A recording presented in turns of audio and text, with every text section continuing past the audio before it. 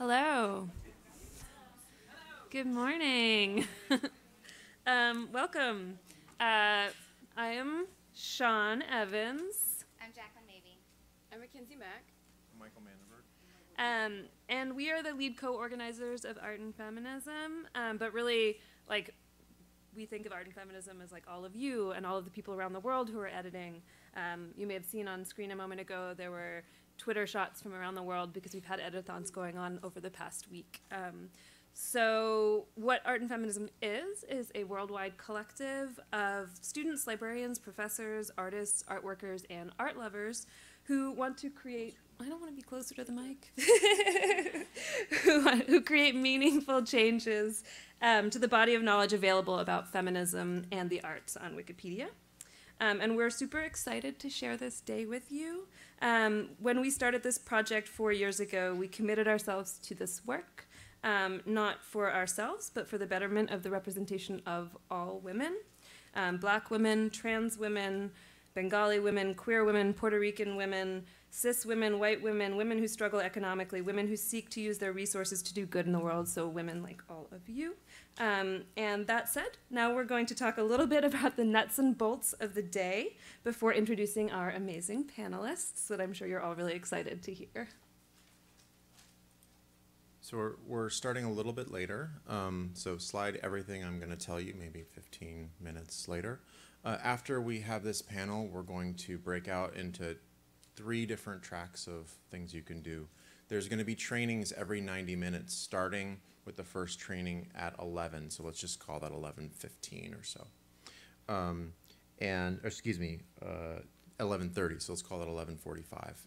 Um, and at uh, one o'clock, starting at one o'clock, there's also going to be breakout sessions. The first one at one o'clock is uh, about radical archives with Interference Archive. The second one is going to be um, about the work of AfroCrowd and Black Lunch Table.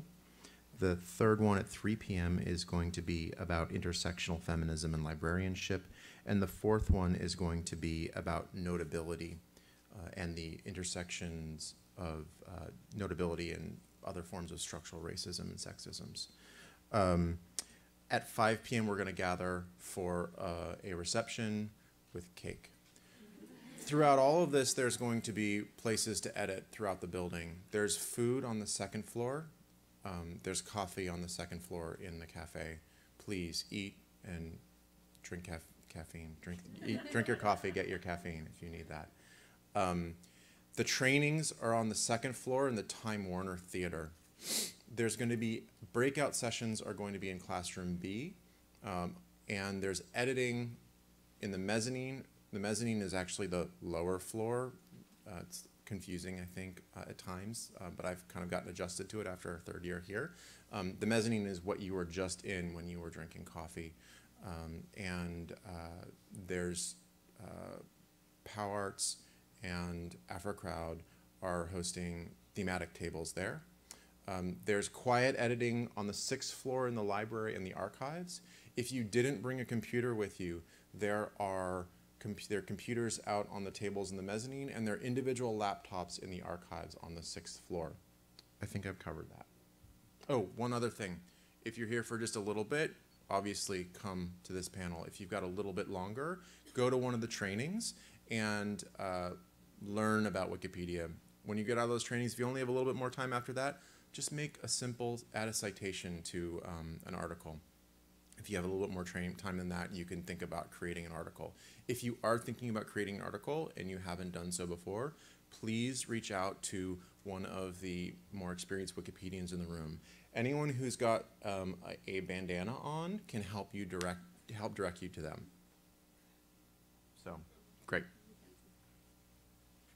Hi, everyone. You should give yourself some snaps for being here today, showing up. Thank you. Um, before we start, I'm gonna, we're going to set an expectation for the day, and that expectation is safe, brave space. So, what does that mean? It means that the goal of this editathon is to create a space for collective learning. Um, this requires intentional behavior wherein participants are conscious and accountable, um, not just of their intent, but the impact of their actions and what they say. Um, we respect our experiences and the experiences of other people, but we recognize that we can't do this work without one another. If you're being harassed, or you notice that someone else is being harassed, or have any concerns of any of any kind, contact um, a team member. You can also let me know if you see me walking around, or text me 773-844-4607.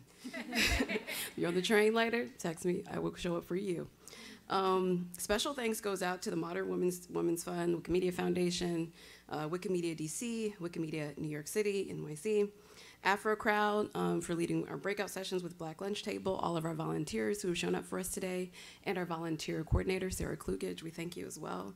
Um, and in addition to that, MoMA Department of Education, and of course you for coming and learning how to edit or just coming to make contributions. We appreciate it. Um, yeah, snaps, snaps. Uh, uh, so we're so pleased to have Kimberly Drew and Joanne McNeil and Zara Rahman here with us today, and we're really looking forward to the conversation that will emerge. Um, but first, I have the honor of introducing them all to you. Uh, so Kimberly Drew, aka Museum Mammy, received her BA from Smith College in Art History uh, and African American Studies with a concentration in Museum Studies. An avid lover of black culture and art, Drew first experienced the art world as an intern in the director's office at the Studio Museum in Harlem. Her time at the Studio Museum inspired her to start the Tumblr, uh, the Tumblr blog Black Contemporary Art, sparking her interest in social media. Okay, great. Excellent. Moving on. Uh, Joanne McNeil is a writer interested in the ways that technology is shaping art, politics, and society. She was a 2015 fellow of the Carl and Marilyn Thoma Arts Art Foundation, receiving an inaugural Arts Writing Fellowship Award for an emerging digital arts writer. She is currently writing a book on what it means to be an internet user. Zara Rahman is a researcher, writer, lingu- and linguist who's interested in the intersection of power, race, and technology. She has traveled and worked in more than 30 countries in the field of information accessibility and data use for social change. Rahman is currently a fellow at the Data and Society Research Institute in New York City and a research lead at the Engine Room, where she leads their Responsible Data program. Um, so I think that, take it away. Oh, yeah, yeah. mind. Thank you.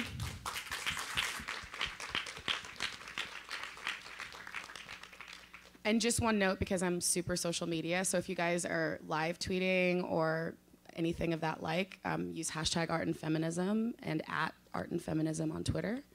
Um, so before we start, I just wanted to one apologize to all of you for being late this morning. The struggle's so real. Saturdays are hard. Um, but before we get started with Joanna has uh, brought a video for us, I just want everybody to just take one big deep breath. Let it out. Feel it. Feel it. One more time. In, in, in. out. Right? Um, I think McKensie got us off to a great start. This is not easy work. I mean, publishing online is something that is incremental. It's something that is exhausting. It's something that is amazingly beneficial. Um, but it does take a toll on us, and that's something that we're definitely going to broach today during our conversation. Um, this will definitely be a conversation full of levity, um, of course, but then of course some heavy stuff. So I just wanted to take the collective breath so we're all on the same page. Um, so Joanne, do you want to start with your video? Hi, sure. Um, just to set your expectations, this isn't a very exciting video. We're going to watch just like two seconds of the video, um, if we could pull it up. Um, mostly I wanted to use it to demonstrate um, something that happens. Oh, and you can see how many views as well. Like, and those are all that happened basically today. So it was, that's like, yeah, that the traffic just spiked. If you want to like play a couple seconds and. Joanne McNeil is an American writer, editor, and art critic known for her personal essays on technology. She is reportedly writing a book on internet culture. I think you McNeil was the editor of Rhizome at the New enough. but so I I think um, I, I wanted to play that video because it it shows just what what we're dealing with when we're talking about information online. There's just abundance, like, and it's something that just about every media historian. Every media theorist talks about there. There was an age of like information is scarcity, and now we have it in abundance. And that this, I don't necessarily think a human before me ever saw that, and I just saw it because I was googling something. I was googling my name. Um, Oh, someone so it, it was. I think it's a bot. I think it's a. It, it had to be a uh, text to speech bot that was uh, program to But someone put turn it it on, on, on like- YouTube. yeah, that they would pull up all the images, and c- I think it was all just like programs.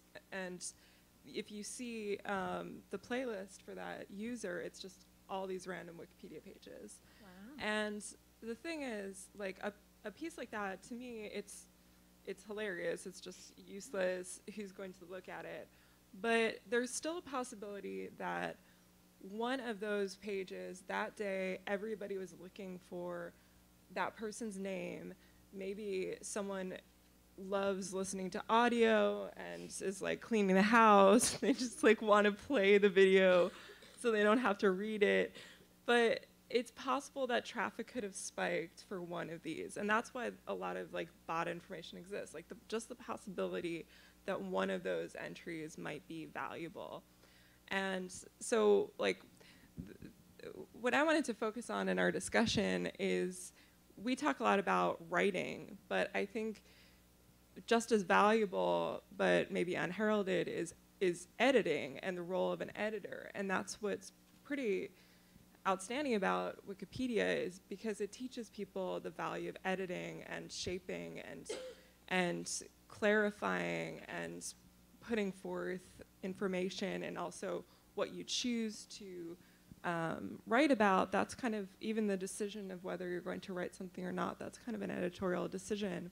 Um, just to to give an example, like because I've worked as an editor and I know what it means to chase traffic and be uh, be expected to hit quotas and ultimately it turns me into a bot like that video it makes me feel like i just need to deliver something that i can reliably get in get enough views so i can sell ads against it and uh, in our discussion i can give specific examples but i, I think that with a space like wikipedia with uh, it does have problems. It's hierarchical. It's bureaucratic. There, there are down, there are drawbacks certainly, but you can have all this information in one place, and you can. Uh, uh, it, it's no longer driven based on page views.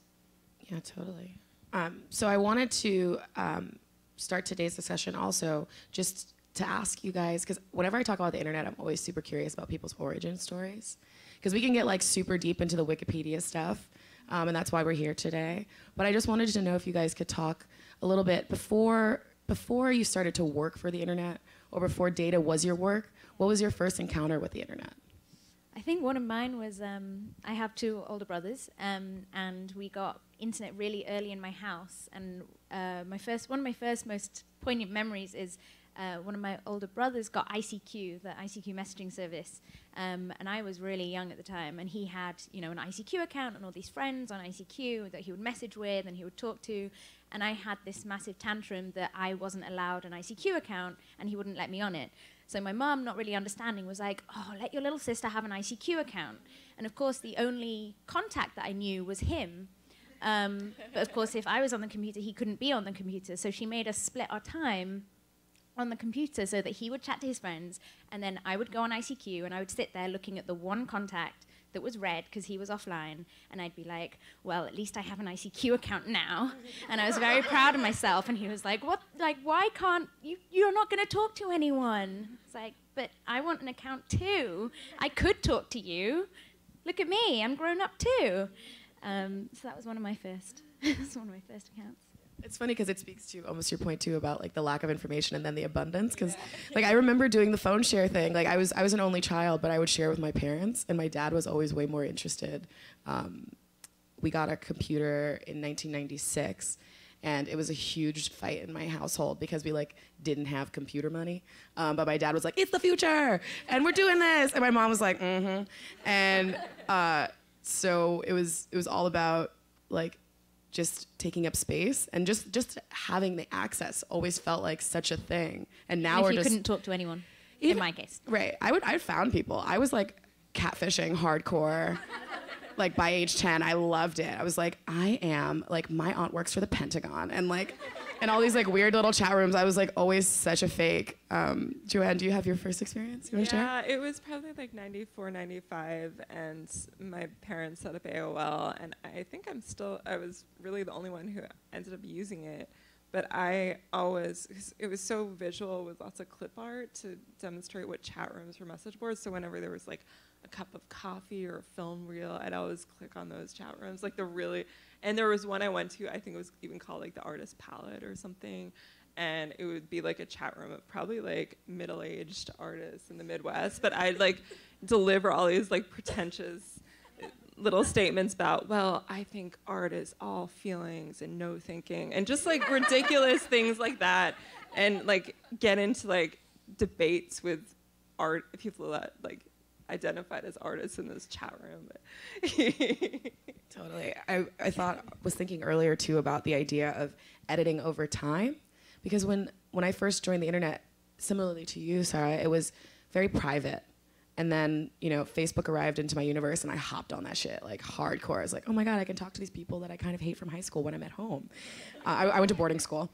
Um, and so I was wondering like if you guys could speak to, especially as professionals in the internet, what it means in a more abstract way to edit how you relate to the internet now and how you keep that as like a source of either progress in the work that you aim to accomplish in your career or as a, like a positive space where you can be as an individual as well so just the concept of editing and how you think about progress or um, positivity in your in your world and your work Yeah, I mean, I think so. I was thinking about this a lot recently. Um, I had to write an essay about um, how communications technologies affected generations of immigrants in my family, um, and I was thinking about this a lot in the sense of, you know, like when my mum moved from Bangladesh to England, she would write letters to my grandma back in Bangladesh, and now they still have these like piles of, you know, blue airmail letters that they can look over, and they have this archive.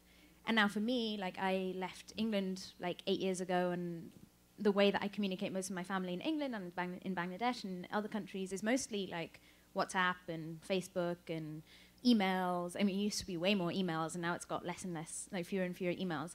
Um, so yeah, I mean, I guess I was thinking about this not in the kind of professional sense, but in the archival sense of, you know, like my old MySpace page I deleted a few years ago, just because it was embarrassing and terrible. But also, I, I mean, I'm never going to get to see that again, and I didn't make any effort to kind of download it or download the images that came with it. Um, and yeah, I think it does bring up this interesting thing of if they were offline, like letters and things, I would keep them for myself, and I think, oh, how how nostalgic and lovely. But because it's online and anyone can see it, I'm like, oh my god, how embarrassing and terrible. Let's take this down so no one ever finds it. Um, and yeah, I guess yeah, that archival piece I do find kind of interesting of what do we want to keep and think like, oh, that's lovely. But for me, I actually I kind of use my my blog, my personal blog like that. Um, there are I went through a phase of or like a couple of years of uh, making myself write a blog post every Sunday. So like weekly blog posts, and I would give myself an hour to write them, and I would post them, and I would kind of assume that nobody would really read them apart from maybe my mum. Um, and every so often, someone will say like, "Oh, I saw this post you wrote in 2013." I'm like, "Oh God, you did? Like, why did you see that? No one's meant to see that." Um, but I would never take them down. I guess I say this now. Maybe in like five years' time, I'll be even more embarrassed. Um, I would never take them down because they're for me like this kind of. You can see the progression of my thinking, and I can see how my thoughts have changed. And I've always said that you know I consider kind of changing my opinion on something to be not yeah to be a kind of sign of progression and learning rather than yeah, I said this in 2013 and I totally stick to it. Um, so in that way, it's like professional, professionally speaking, it's kind of a, a thing that I keep for that reason. Um, on that point, I, I've something I've been doing just over the past few months, just because of all these high-profile hacks and. Um, not that I ever felt totally secure with my information online, but I've just recently gone through and started deleting and deleting a lot of accounts I don't use. Like, it, just seems like maybe in 2011, every time there was a new service, I'd sign up for it, and I'd, uh, you know, if there was like a new because anything could be the next Facebook or Twitter or something we can imagine. So if there was a new social network, I wanted to be the first on it, and consequently, all of my my information is there. My name, my email address. My email address actually is valuable. I don't want random spam. I don't want to be on contact lists. I had this really weird experience where because I signed up for a one of those like question anonymous question and answer accounts. Someone used my email to set up a dating site on all these weird sites. Like, really, uh, they they gave me a name like Tulip and a fake photo, and I was getting all these ra- random information. But it just made me so aware of like, with this quest for traffic, social networks have a quest for um, users. So they're going to. I, think it's possible this dating site actually was they were the ones who were creating these fake accounts and attaching real emails to them. Um, so I've just been pruning, and that experience um, it felt really powerful because it felt like the the opposite of what I normally do online, which is like collecting everything and making sure that I have everything saved. As, but in this, like it was a weekend where I just tried to think of every single username for every random social network that I'd signed up for in the past five years, and actually it was a lot. Yeah. I mean, I think about that too, that editing process. I like that you guys both took that question in that direction because I just started blocking people for the first time. Just, you kidding? I really, No. I am just. Why? I try so. I mean, my my work is sharing things. That's what I- share, but right. You don't have to. Right, but that was the thing is that no one. Okay, well, we should have been friends Yeah. years ago. I'm here. because I'm here, I was doing all this heavy lift on my own and was just like, you know, if if someone didn't agree with me and wanted to unfollow me, I was like, well, that's your loss. You know, I got really like whatever about it, and I believe that very much. Um, but I never really understood the power of block, where you didn't have to like engage emotionally And mute. and mute. Oh, mute. I don't Oh, even have mute. ad blockers on. Like I'm really like raw in the internet. Like I'm out there. Um, and and changing over into a more kind of like partitioned internet space has been really wonderful and freeing. Like the other day, I literally blocked four people before I got out of bed. I was just like, you, you, you, because like people came for the art and feminism, and I was just like, boop, boop, boop, boop, bop, bop. Who's a delusional idiot now? Bye. Um, I love feminism. Um, and and it, I think part of it for me too was thinking about being a black queer woman online and thinking about how I exist in the art world in which I occupy and wanting to shine as big of a light as possible, wanting to be a person of integrity and character, where it's like you may not like the work that I'm doing, but you know you could complain to someone and they'd be like, "But you know she's great, right?" Like that was always my goal. Um, and I found myself a lot of times through this kind of internet discourse being on panels with white dudes of the internet who are interested in being invisible which is the exact opposite of the work that I'm trying to do. I'm like, here I am and black as hell, and here are these other great black people, and here are these other great brown people, and here are these women, and you know, and these groups are not mutually exclusive. And um, so I wondered, especially too thinking about post-election um, and thinking about the optics of something like the Women's March, how you guys, as data scientists and writers and critics and um, people who think about putting things out in the world, like what if you have any thoughts about how that relates from either a data perspective or like a web-based perspective um, and, and what those optics either from a personal perspective or if you have like some more macro level kind of consideration of what that meant to you Um, well, this takes me to the, the question that comes up so often in panels like this is like echo chambers. And I have been thinking a lot about echo chambers, like because people are talking about it like like crazily, uh, constantly. Um, and one thing uh, that has to be said is like you can diversify your media outlets, but some of them actually do the fact checking and the heavy lifting and the real reporting as opposed to propaganda. I don't think, I, I think it's useful to look at something like Breitbart just to know what they're instructing their audiences.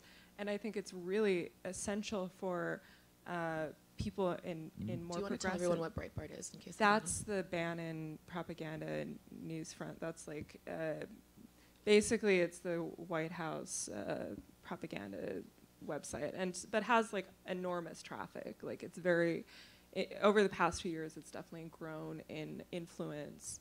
Um, I think it's important to to keep an eye on Fox News to see what stories do make it to Fox News. Like I think it's important for that, but if if you have like a core sense of values in terms of what what like general media literacy like what is good reporting it, do i know that this outlet will um, fact check all of its stories or like respond to um, like letters to the editor or things like that? Is there like a, a institutional history that like is respectful of of you know information and and and truth and accuracy?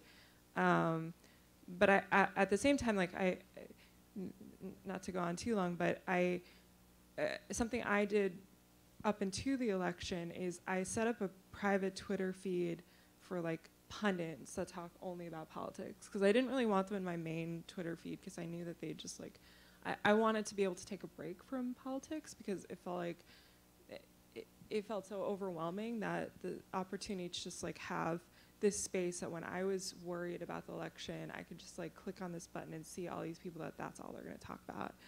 And one thing I did is I made sure to put in people that I feel like I, I have some respect for, or even if I don't necessarily agree with. And I've got to say, like, I don't really have any pro Trump people in there. Like, it's because I just don't really respect people who support Trump. I don't, and I, I, I guess it's an audience that it's okay to say that. You don't have to defend that.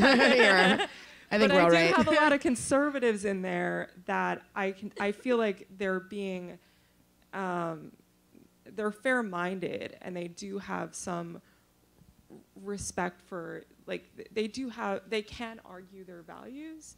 Um, so it was really eye-opening to see the process of their shift, whether they became more um, uh, more inclined to agree with the president or like what I, I guess because I just like I wanted to understand how like how people could think this way, and there are ways that you can like do a measured way of breaking your echo chamber in terms of like seeing what the other side says, and that doesn't necessarily mean their their influence is going to like impact your beliefs. Yeah, I mean, I totally agree with you on kind of the the aspect of being intentional on what's in your own network. Um, and I've been thinking a lot over the not just since the U.S. election, but but further back of what kinds of information I choose to take in and what gets my attention. Um, so I made an effort on Twitter, for example, to follow people that have vastly different views to me from very different areas of the world who you know, some of which I'm like, oh, I totally get you, and some of which I'm like, whoa, I never would have thought that. Um, but again, there's that shared thing of like, I respect them all. Um, but as you know, as someone, I only moved to the US in September, just in time for all the fun, um, and I moved for, and I, I spent the UK in July, uh, July in the UK, so I was there for Brexit as well. Yay! Sorry, everyone, if it's if it's me. Um, but one thing I've done for a long time in, in a community that I'm involved in is called Global Voices, and I don't know if you know them. So they're a yeah, so they're a, um, a network of uh, editors, authors, uh, translators from all around the world. I think there's about 2,000 people involved now, and their um, their mission is to cover issues that are underrepresented in the media, in mainstream media. So they focus on you know countries that don't normally get into mainstream media in the US or in the UK or in kind of major Western countries. Um, and I follow them and I look at that website, that homepage almost every day because there's all these massive things that are going on in parts of the world that I think, especially living, living in the US, one of the things that has surprised me most, um, and obviously there are like special circumstances right now, is everyone's very, it's, it seems to be very kind of insular, like looking inwards, and you can say like, oh, but that you know coup that happened yesterday, and people will be like, what? Like, really? Like, okay, never mind. Um, and Global Voices for me is this place of, you know, they translate stuff from other languages. They have all these volunteers in countries all around the world, in I think about 80 different countries. Um, and that's, for me, a very refreshing way of getting information and news about countries and areas of the world that I wouldn't normally get into contact with through, you know, just hanging out in, in New York. Yeah, I, I think I, I just got back from a trip to Berlin and I was thinking about how absurdist New York internet is. It's just so small um, in the way that we consider and take in information. And whenever I hang out with a friend who's from somewhere else, I'm always just like, what's up? Like one of my friends is South Korean, and like hearing about the inter- like the email scandals in South Korea is so lit. Also, they've had a female like a woman president for two years. And no one told me. Also, I didn't seek it out. Um, but it, it makes me think about you know the concept of uh, unplugging and you know thinking about living an apolitical um, kind of life on the internet as if politics doesn't go on if we're not paying attention uh, and i try to think so much about how to be more investigative in the spaces that i find myself online um, and how because it is such a vast space, because it can be so dark and so scary, and then no one even talks about the dark web. No one even talks about that. Like, it's so insane to me that we kind of just rolled through the hacks of the, the voting. Like, it was just like, yeah, hackers.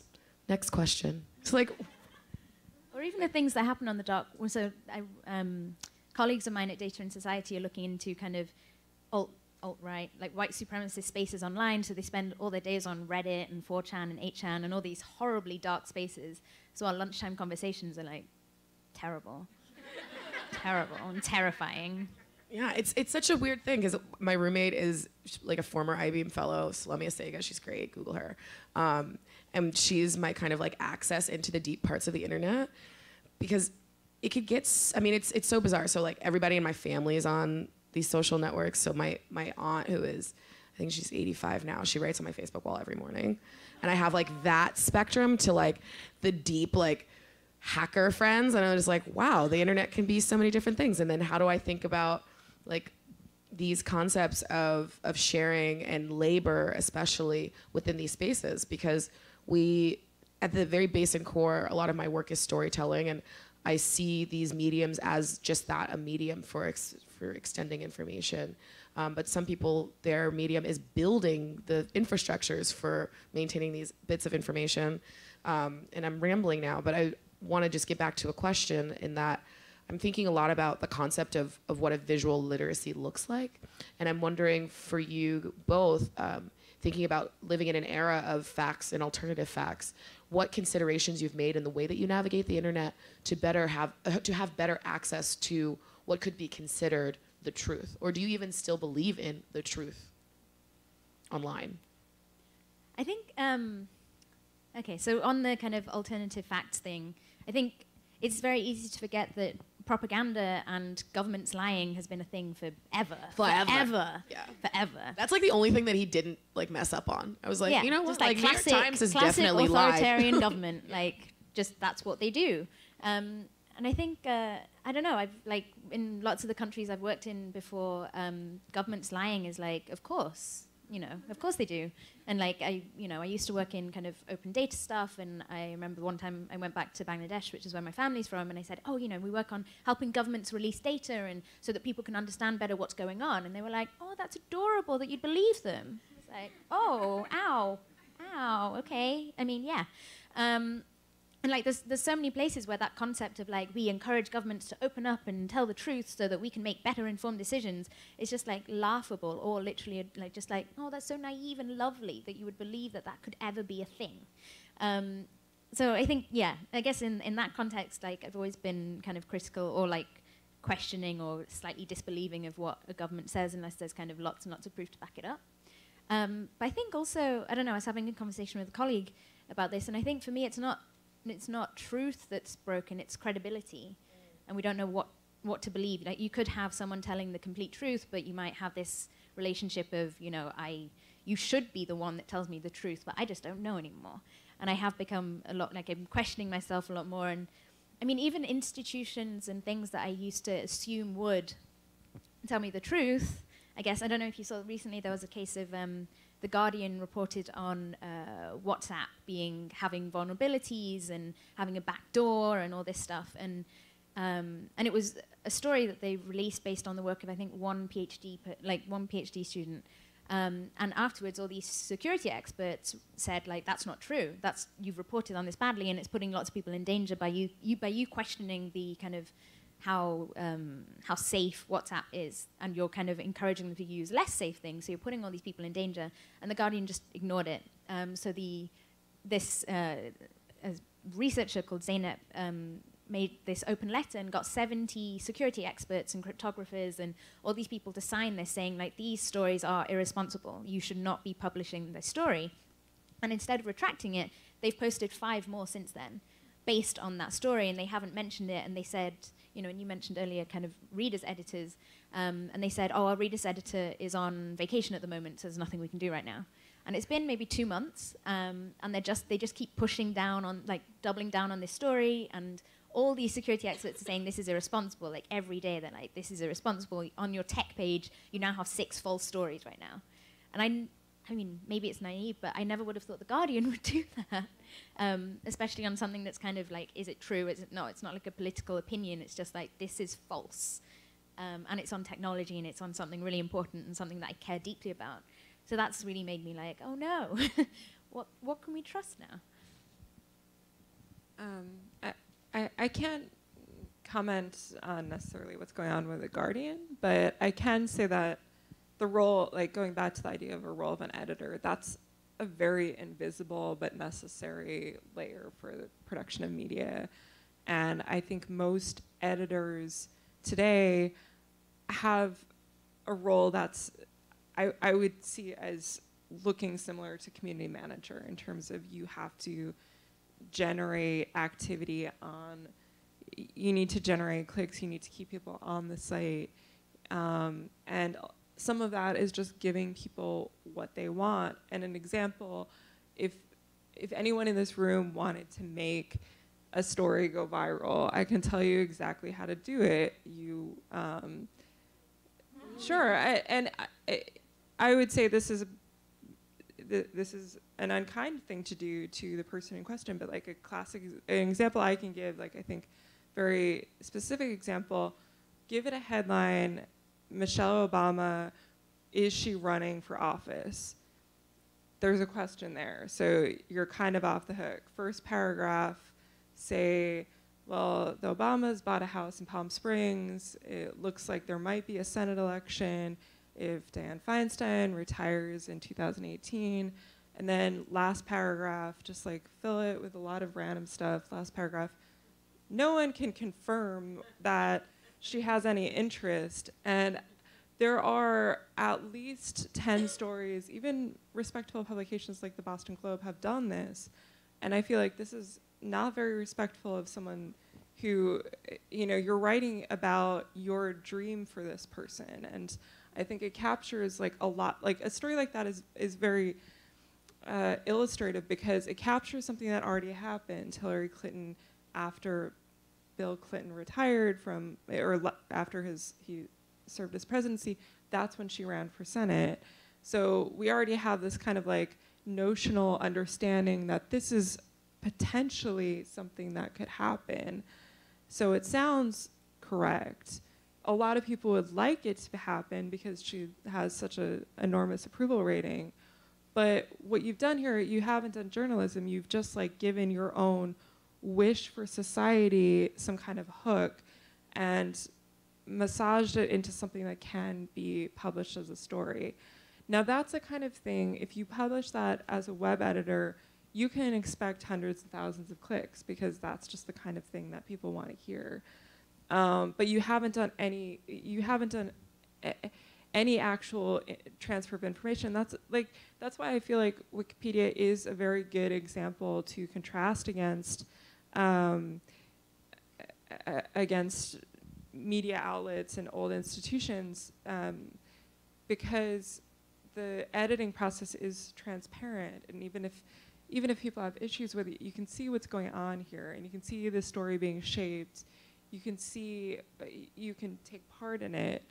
Um, whereas, like, and ultimately, it isn't traffic driven like that. You can be a minor figure, you can be an incredibly obscure uh, person from hundreds of years ago and still merit a page. You don't have to be this enormous personality. I think for me, just to hop on that before a question, um, I think for me, one of the one of the things that I'm seeing more and more, or the one of the things that I have most faith in right now, is um, non-profit models. So one of the reasons, for me, the, the best thing about Wikipedia isn't just that it's transparent, because I think you can do lots of things, lots of terrible things out in the open. Um, you can, not naming any names, um, but yeah, I know. I'm new to this country. I need to learn them all. Um, but that they're not trying to get clicks, and they're not going. They're not a for pro- for profit model.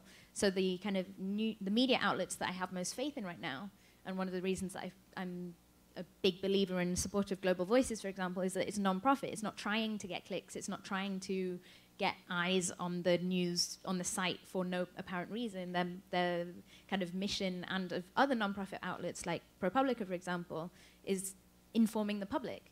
When you say, but I do think I just want to just step in and say perhaps the um, incentives are different for nonprofit publishing as opposed to ad buying. Because I do think in nonprofits, if you're able to report on the number of clicks, you are more likely to get more grants. Yeah, but I think maybe then it's not number of clicks, it's number of members, for example, which you could, yeah. So, I mean, I, I totally agree with you that there are metrics that go along with nonprofit models, um, but that they are different from ad buying. And I think I am seeing the value more of members who are willing to or able to pay because they believe in the mission rather than clicks on a story for potentially reasons like, oh my God, this tells me the future that I want to see too, which is different. Yeah, I mean, I think a lot about Wikipedia as an amazing space in that. I mean, okay, so crit- criticisms of Wikipedia, right? It was like I was a kid who was in school when it, Wikipedia was a thing that people would use as their primary source. And it, it, always was so funny to me because professors would just be like, "You young people who have smaller brains and aren't actual humans, um, don't use Wikipedia as your primary source, as if like you can't go to the sources and use the sources as your primary source." Like I always got, I always thought that that was so interesting. Is like, no, Wikipedia can be a really awesome tool if you just use it as a tool. It's not your first stop. In the same way that like every book you check out of the library isn't your first stop. Um, and now I'm just ranting from my childhood and getting out my feelings. Um, one of the things I wanted to bring up before we um, transition into more audience questions is just if you guys want to ruminate a little bit about specifically because okay so we're here for wikipedia we've covered wikipedia we're here for the internet did that nailed it. Um, one of the things i also want to talk about is a bit in how you consider feminism as part of your practice whether it be um, through editing on a personal level um, or professional level but what in what ways feminism has impacted you if you feel particularly charged by it. Um, I always feel like that feminist tingle in every march um, and try to make a point of thinking about all of the women's, all the kinds of women's. I was um, most most of the reason why I was like a little late this morning was because um, the author of Americanah, Chimamanda, was speaking wild shit about Oh, what uh, it means to be a woman, and I was just, you know, such a fan of her. Or mm, before. no. I mean, I think you. I think we. I think Still. the part of of being a fan of someone is being ready to critique, and then hopeful that they'll edit. Yeah. Um, and that's kind of my greatest, my grandest hope for her is that she takes people's feedback into consideration and the damage of her words into consideration because it's, it was like, whoa. Yeah. Um, which she, it's, it's, it doesn't bear repeating, but she basically was talking about privilege in relationship to being born male and how the, there can't be a one-to-one experience between people who have transitioned and people who are born a certain gender. That was kind of like the rift of what she was saying, as if like anybody asked her opinion. Um, but anyway, I was wondering what in what ways you think about feminism as something like not everybody loves feminism as as a as an ideology as a corporate strategy. Um, but I, I'm wondering what way that that role like rolls into your lives. Yeah, I mean, I think so. I'm quite lucky in that my kind of day job is working with um, individuals and organizations who are trying to make a positive social change on the world. Um, so that's kind of amazing, and it's in and of itself. Um, so I actually get to work with lots of feminist activists, um, and one of the most interesting things that I've seen is, or one of the most kind of the things that I'm struggling with at the moment is trying to help people who see themselves as feminists, for whom kind of the personal is political, everything is political, um, and they take this kind of feminist approach to everything, to help them transfer that to technical stuff. Because I think this, there is still this gap between um, how people consider their views and their politics in the real world and then online. And in my mind, they are kind of one and the same. You should take the same approach to, you know, if you think, if you are an ardent feminist, you should, you know, access is important. And, uh, you know, giving only limited amounts of information to certain people is not cool. And, you know, translation and localization is super important. And all these things that are kind of happen online and even things like partnering with, you know, I was speaking to a, um, or working with a feminist group last year, and they uh, decided to, they were a sm- super small feminist collective. They, didn't, they had hardly any budget, um, and they decided to take down their website and use a Facebook page instead. And that, I was like, whoa. And then I was quite taken aback, and then it turned out that they were getting fewer and fewer members, and they figured, oh, maybe, maybe our Facebook page isn't coming up as often. So they ended up giving part of their tiny budget, going paying that towards Facebook ads. And the idea that this small, small feminist collective with hardly any money would be paying money to literally the biggest company in the entire world and not see anything weird about that with their feminist politics and then their online things was something that I really struggled with because part of me wanted to say like, no, that's that's wild, don't do that. But I was like, no, who am I to who am I to judge? You know, like building websites does take time and it needs resources and it's hard and it is a lot easier to just use a Facebook page. Um, so that's something that I've really struggled with, like knowing when to say, and like lots of my work is about kind of talking people through and helping them make the best decisions for them, and understanding that there's always going to be these trade-offs that you just have to make based on your your own decisions. And these people, like everyone else, knows their own context way better than I can. I can just kind of give them information, and that was one case that was really hard for me not to just be like, "Don't do it." I mean, no, it's your choice. It's your choice. Here's the information. Don't do. it. No. Stop. Um, well, oh, one thing that I find really encouraging about being a feminist in this year at this time, regardless of the political situation, feminism now is coming with the expectation that you have to call for solidarity, that there has to be an understanding of the ways in which other other people's oppression fits into your own. And I think seeing that theme come through in the posters that have been at the marches, um, the people invited to speak, you know, having Janet Mock on the stage is that's. I think even five years ago, if there was to be some kind of women's march, it wouldn't look like that. And I think people are finally understanding how essential it is to have that call for solidarity. And it's also coming through in the politicians themselves. I think, I, I really hope that in the the next presidential election, the Democrat, I, I almost feel like will have to be someone who can speak clearly about what solidarity means. I see it slipping into some politicians' language in ways that's really encouraging, but I think that needs to be expressed in a sense that we're we're all in this together. Um, there was a really great piece by Sarah Leonard in the the Nation just this week about how the corporate kind of uh, use of feminism and how that can actually do harm. She was contrasting Sheryl Sandberg giving a, a lecture at Harvard with these um, these housekeepers who were who were striking for for um, and and the contrast between the two experiences and seeing how uh, this lean-in feminism actually did harm to the workers who were eh, the workers who are, are less privileged than these executives are doing the work that makes it that benefits all of us. Meanwhile, these these feminists it, that, or you know corporate feminists or white feminists or whatever you want to call them, they were kind of cutting off that conversation, actively doing harm to their activism.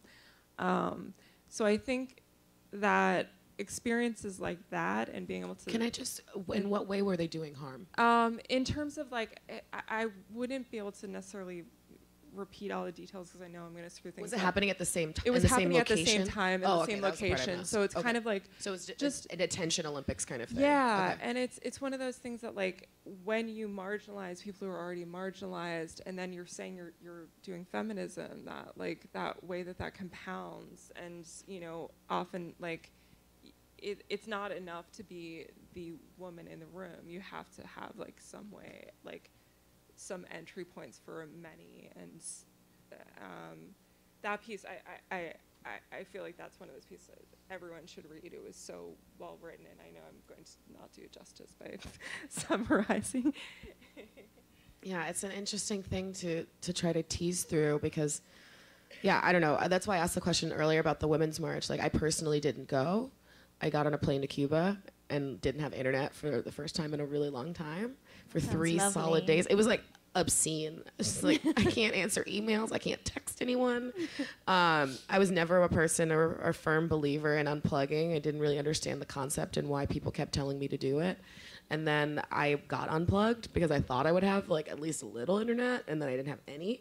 Um, but it was so refreshing beyond like the pure fear that someone was going I, I had like a very i think rational fear that there was going to be violence at the women's march but be- that's just because i'm used to going to black lives matter marches and um, they're a little bit less corporate um, a little bit less safe. Um, and so my my kind of personal view on feminism now is just like an understanding of just like a radical specificity um, and understanding that like who I'm referring to when I say we, who I'm referring to when I say they, who I'm referring to when I say us. Um, because I think a lot of times within these movements, it's quite easy for us, in the interest of progress, really, like wanting to move forward, to speak in those like big kind of words uh, without understanding that like there is going to be an inventorying. Um, you know, we shall overcome, or we will survive this because we've survived other things. It's like not everybody fucking survived and and we have to be realistic about those things um, and so that's kind of where my feminism lies and just like being really specific and rigid and difficult and messy. Um, and you know hopefully we, we will all work together to be better editors in this process. Um, so we're going to open up for audience q&a I, I see people have like wiggled down to get more comfortable but this is now a good time if you want to find a seat because we have some around and you don't have to like stand. If your body doesn't stand well or if you would prefer to sit, this is a good time to do that. And if you guys have questions, um, I think we're going to go around with mics. Do we have a protocol for this? We have mics? Okay, great. We're going to keep it to Thank you. questions, not comments, too. Absolutely. Um, early on, you mentioned before. I'm a big fan of Wikipedia because I do see it as a democratic way of doing things. But you mentioned early on that you thought and found it hierarchical, and I'd really like some examples of how you find it hierarchical. Um, I, I'm not a heavy user myself. I feel like there have been issues with back and forth, how long it took before you could put people's correct pronouns. I mean, it wasn't until, uh, what was it, like 2010, 2011, that they finally let trans people use their, their actual pronouns. I mean, there have been like issues with, and it's just pure production in general where like there are power dynamics that come into play. But like I said, I'm not like a, a deep user of it. Um, it's more like what I've obs- observed and read about. I think it's certainly improved. I mean, if there's one example I thought was really inspiring, um, again, Chelsea Manning, they banned the House of Representatives two years ago because someone was vandalizing the pages of trans women like Laverne Cox and Chelsea Manning. So actually, they banned the IP address of the, the House of Representatives because um, someone from that IP address. So it meant like an actual they they had like a they couldn't post or like edit for 30 days or something like that and it was great because it was just like here's this like you're applying this um, this measure appropriately that even the house of representatives having some like power or cachet they're treated like every other organization in the space I, but like like i said power dynamics are anywhere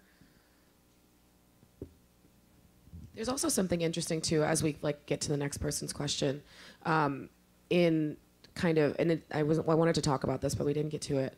Um, the privacy and, and public relationship to Wikipedia, because especially in New York, we're spoiled rotten that we can hold these kinds of spaces together, that we can get trainings.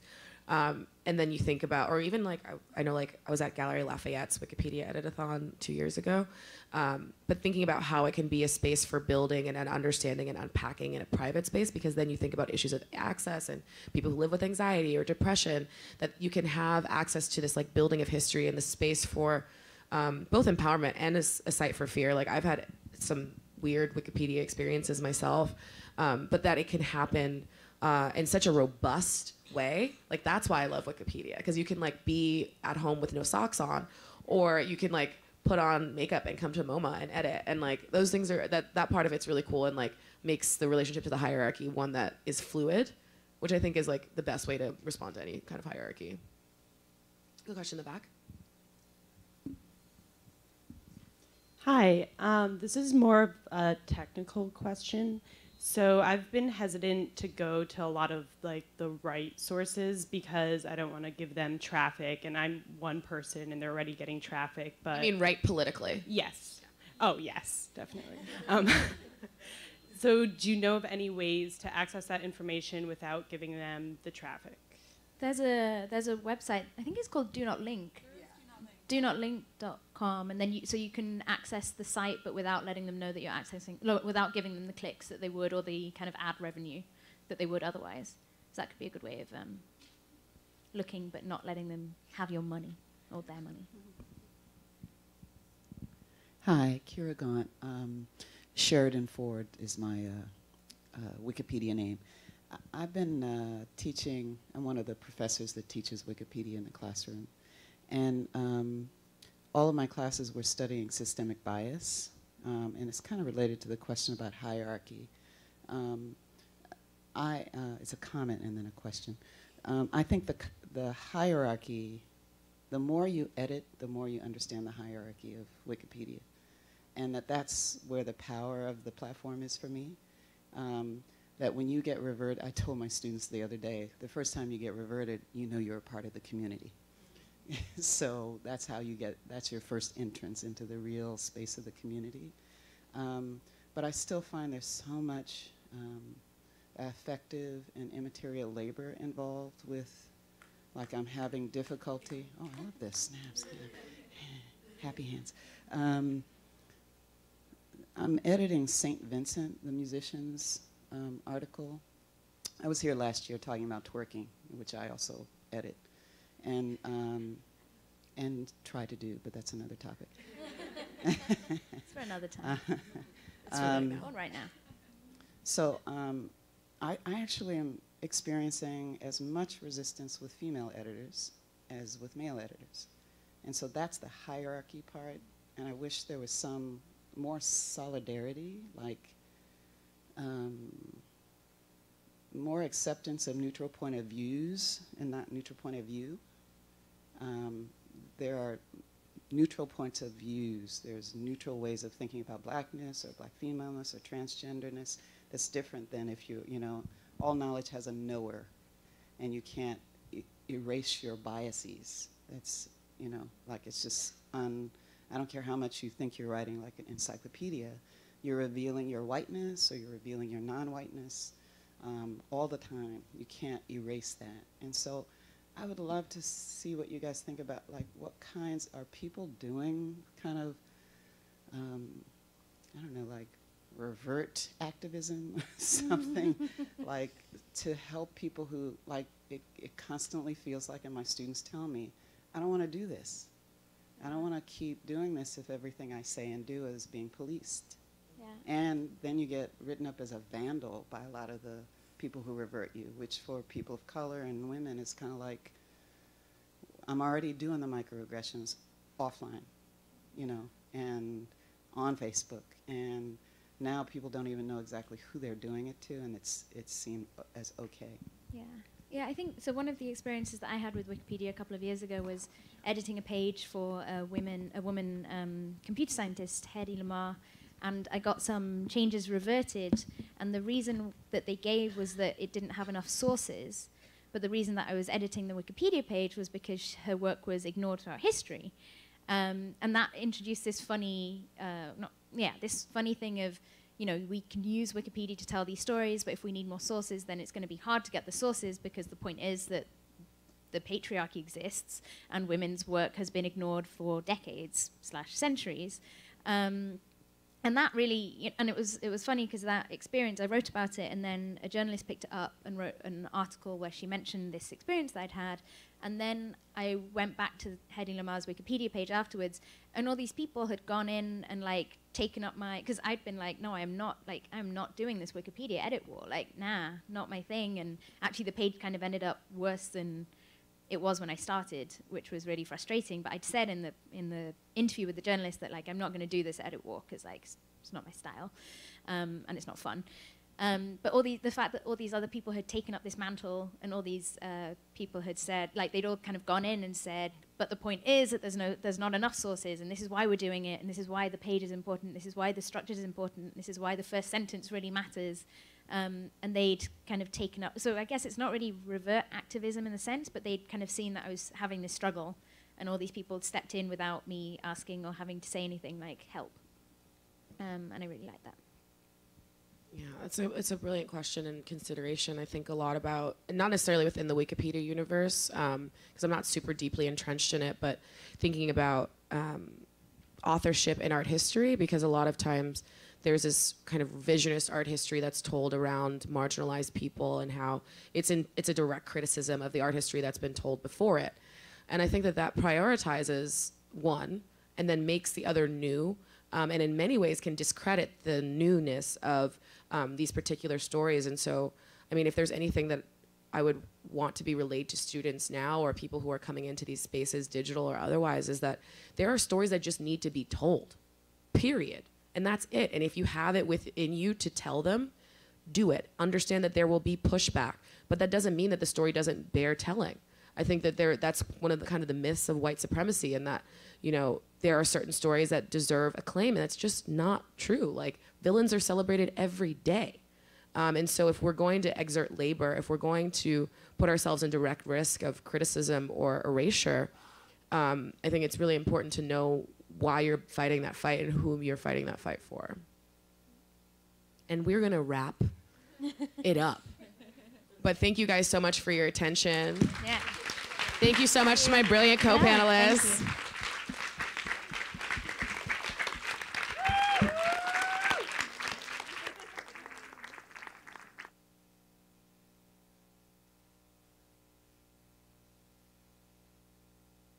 Can I grab a? It's on? Okay, great. Um, I want to thank the panel. That was really awesome. I want to thank you all for coming. This is all on behalf of, of my, my, co, my uh, co-lead organizers. I want to thank all of the hundreds of events around the world on all six inhabited continents.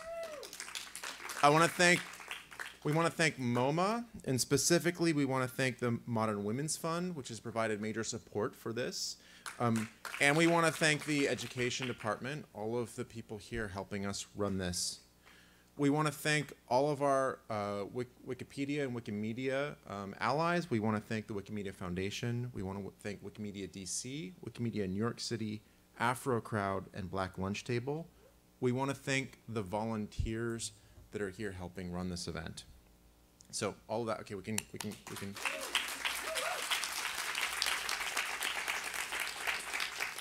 I want to offer just a few reminders um, as we go through. As we said, we're going to start the training at 11:45 in the Time Warner Theater on the second floor. If you don't have an account, show hands who doesn't have an account. Ooh, not that many. Awesome. Okay, those of you that don't have an account, you can go out to the front desk and get an account with someone out there who will help you. How many of you have signed into the dashboard page? Okay, all of you that have, you can help somebody else sign in. All the rest of you, you need to sign into the dashboard page. We're not using a meetup page this year, we're using the dashboard page. If you want to know why, happy to come talk to one of the four of us. We can tell you all about all the wonky reasons. Um, the reality is, it's, it's going to be, it's really important that you sign in. And as motivation for signing in and making your first edit, we have 100 of these I Think Feminist pins. Limited edition. Very fabulous. Um, when you make your first edit and you sign into the page, come find one of the people with an armband, who are the people, the volunteers today, uh, and we will give you your your pin. Um, hashtags: art and feminism, uh, art spelled A N D feminism. The plus sign will turn into two tags, um, and now editing AF. So post that when you talk about the article you're actually editing. Um, work with each other. These are challenging things. It's helpful to have somebody else to bounce something off of and or team up. One person can work on one set of research for an area and one person can work on another area of a page or one person can do research, the other person can do the writing. Um, and lastly, start with edits to an existing article. If all you do today is add one footnote to one article, that's an accomplishment and that's valuable. Maybe maybe five footnotes, maybe ten footnotes, or grammar, grammar, grammar, copy editing. these are all valuable contributions. You don't have to start an article today in order for this to be a success. If you do want to start an article, come check, and you haven't done that before, come check in with somebody with an armband and we can help you through the process. Okay, awesome. What's that? Oh, did I not thank? Pa- oh shoot, it was in handwriting. Also, POWarts. POWarts is running a table outside, and they are very helpful. We've been partnering with them for three years now. Thank you.